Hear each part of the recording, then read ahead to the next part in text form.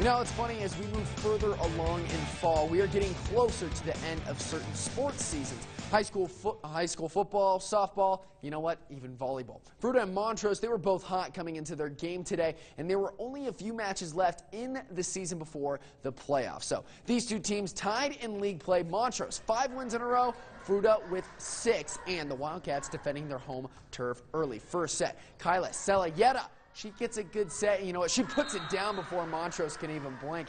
Real good swing from her. Wildcats up early. So Montrose, they're going to go to their ace, Madison Satterley. Hitting from anywhere on the court. She gets one right off the block right here. Then she gets around the two blockers down the middle.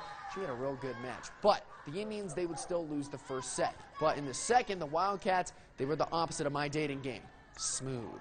Rachel Coffey sees two blockers but decides to go right over them. Hard hit down the line and Fruita is pumped. So if it ain't broke, don't fix it. Gets set again and says that's not decaf. Nails it off the block. But Montrose, they would rally and spoil Fruita's hopes in five sets. The Indians now go to 5 and 1 in league play with just Durango in their way from clinching. Fruita now behind a game with not too much season left.